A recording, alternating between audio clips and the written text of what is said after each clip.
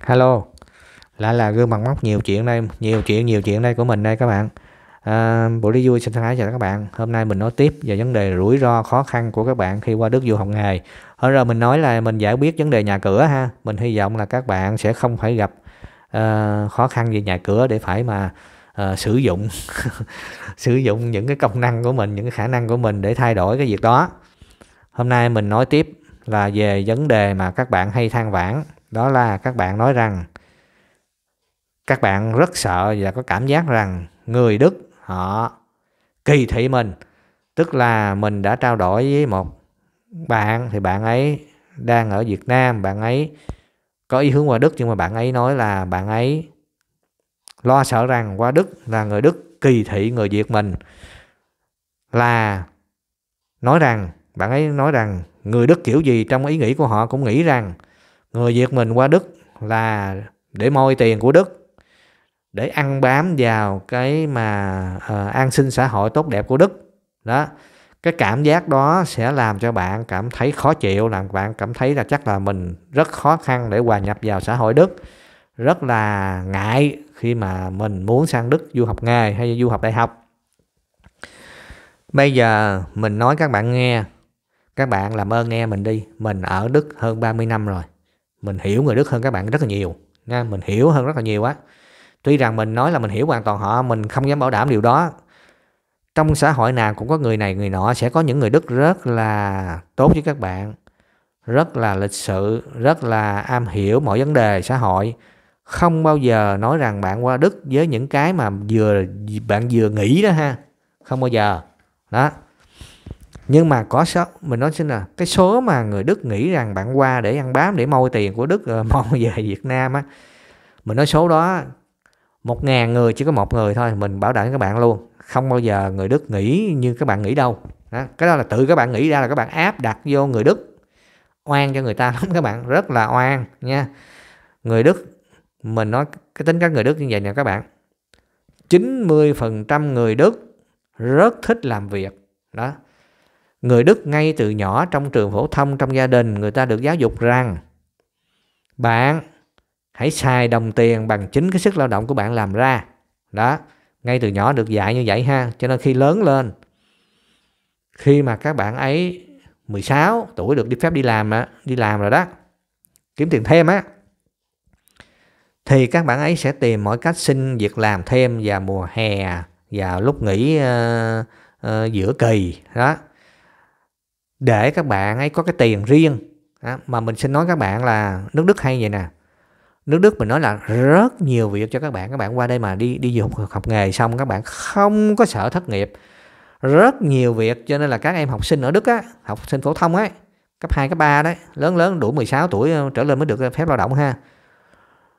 Rất là có nhiều chỗ để làm thêm, để có cái tiền túi. Tức là bây giờ Đức ra cái luật, mỗi năm nâng lên rồi là làm dưới 520 euro một tháng thì bạn được cầm hết 520 euro đó không đóng một đồng uh, thuế nào hết. Các bạn hay nói thuế chứ thật ra là đóng bảo hiểm an sinh xã hội đó. Mình nói thuế theo kiểu các bạn đi ha.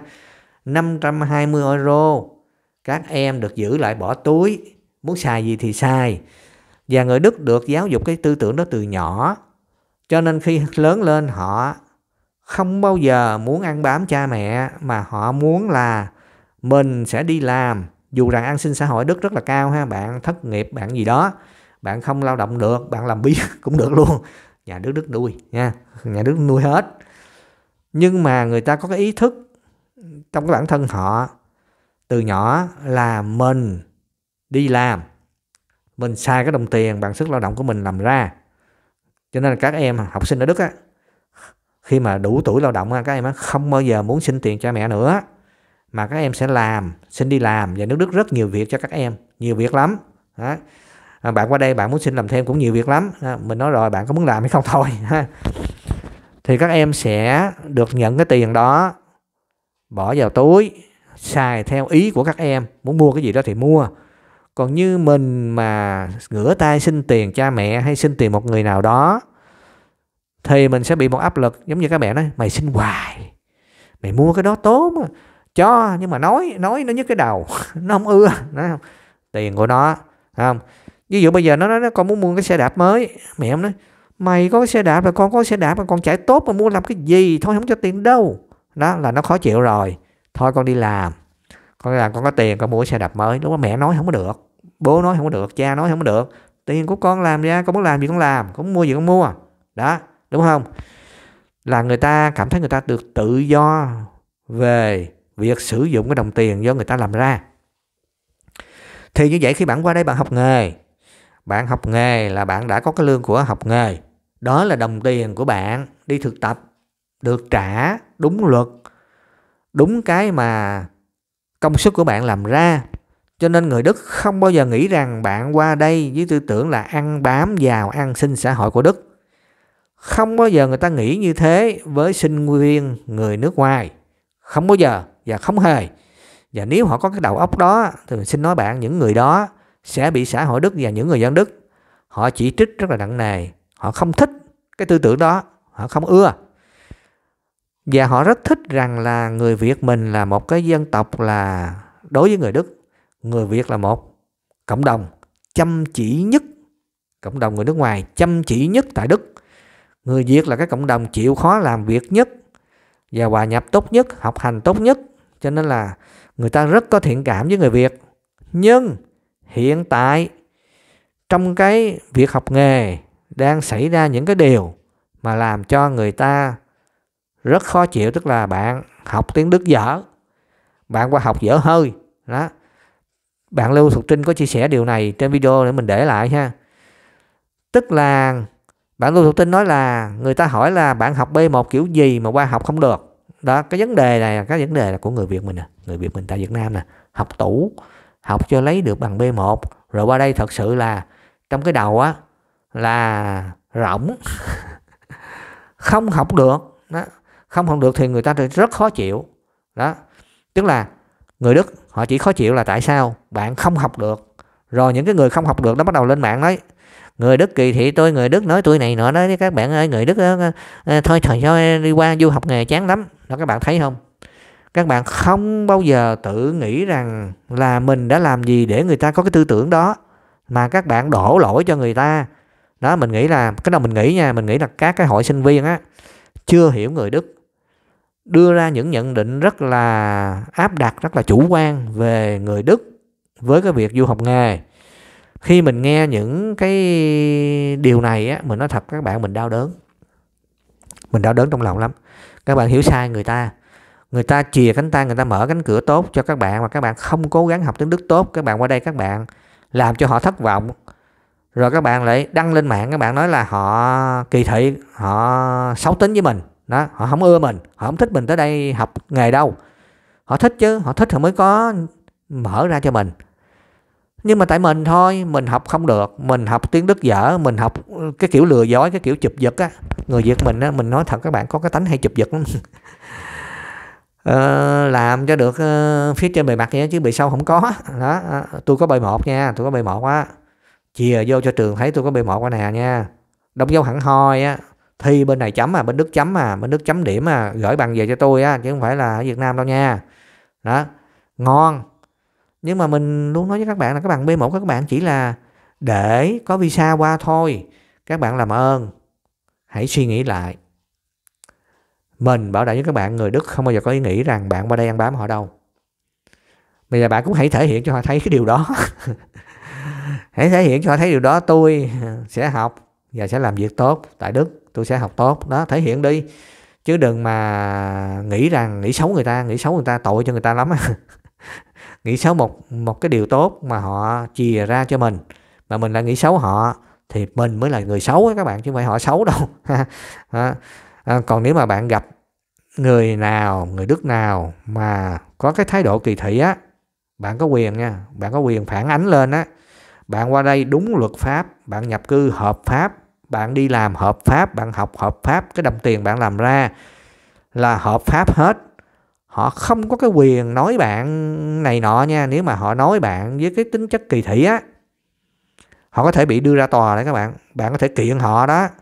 Người đức họ biết luật lắm nha họ không làm cái điều đó đâu. Đấy mình nói thật các bạn người đức rất tuân thủ luật pháp và họ cũng không thích rằng họ là người phạm luật phải đứng trước giành bóng ngựa. Họ không, không thích điều đó đâu nha họ không thích đâu.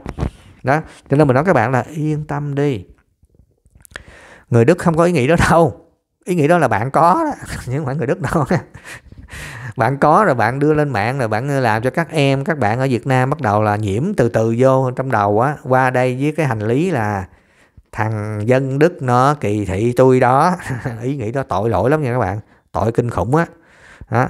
mà ý nghĩ đó cũng làm cho bạn là tội người Đức mà tội luôn cho chính bản thân bạn đó. Nó sẽ ám bạn rồi bạn không học được bạn học khó khăn gì đó mà thầy cô la rầy các bạn nói người ta kỳ thị á.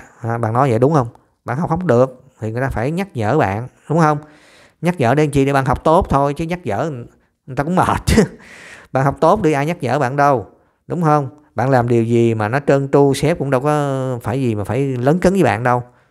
Đó, hôm nay mình nói cái chủ đề là bạn nghĩ rằng người ta kỳ thị, mình xin xác nhận luôn, mình sống hơn 30 năm ở Đức, người ta không kỳ thị người ta rất thích người Việt Nam. Thích là bạn hãy học cho tốt đi tiếng Đức bạn trao dồi thật là tốt hòa nhập thật là tốt. Cái đó là cái ưu điểm của người Việt Nam mình mà cái nhà giáo sư cũng nói rồi ha. À, chắc mình phải để lại đường link nữa để bạn xem nữa. Thì bạn làm ơn thay đổi cái tư duy đó giùm mình. Ngay từ lúc ở Việt Nam đi đó, bạn qua đây sẽ không gặp vấn đề khó khăn đó đâu. Còn nếu mà người nào nói thẳng mặt bạn hoặc nói sau lưng mà bạn bắt gặp được á bạn có quyền nói luôn. Đấy như mình nói đó, tôi qua đây hợp pháp. Tôi học hành tử tế. Bạn nói tôi cái gì? Bạn bạn có tốt không? Đó, tại sao bạn nói tôi điều đó? Tại sao bạn kỳ thị tôi? Tôi nói cho bạn biết, tôi biết luật đức luôn á. Không được phép nói như vậy với một người nước ngoài. Tất cả, đỡ tất cả những người có mặt tại đức đều được luật pháp công nhận là có quyền bình đẳng như nhau đấy bạn nói thẳng với mặt người ta, người ta sợ nha. Mình nói người ta sẽ sợ đó. Đó. Bạn không có sợ họ. Nếu bạn sợ họ họ lớn bạn nữa. Bạn nói đúng luật luôn mà. Đúng không? Bạn có cái quyền của bạn quyền đó được luật pháp đức bảo vệ. Đó. Yên tâm đi. Bạn cứ yên tâm. Và mình nói thật bạn là hãy mở lòng ra. Những gì mà các hội sinh viên mà nói khó khăn hay là kỳ thị hay gì đời gì đó nghĩa là nói những cái mặt tối ở đức á các bạn ấy cũng như bạn thôi sống chưa nhiều ở đức đâu hiểu người đức chưa tới nơi tới chốn đâu. Mình rất rất là thông cảm với các bạn. Cho nên mình mới nói các bạn là à, hãy suy xét thật kỹ và hãy nghe hãy xin hãy nghe tôi này nè nghe tôi nha. Tôi bảo đảm với các bạn rồi đó nha yên tâm đi. Các bạn thấy những bạn à, mà không có những vấn đề đó các bạn ấy học tốt lắm. Các bạn cứ để những vấn đề đó mà nó ám vô đầu thì mình học làm sao được ha các bạn ha? À, mình cứ học giỏi. Mình hãy chứng minh cho họ mình học giỏi mình làm được là không có gì mà họ phải phải phàn nàn mình hết á. Không có cách nào để mà họ kỳ thị bạn nữa không có cách nào hết họ hết cửa họ không có cửa nào đó. tại vì bạn cho họ có cái cửa để họ có cớ họ nói thôi mà họ học dở mà tiếng đức bạn nói bằng b 1 b 2 gì mà dở hơi vậy?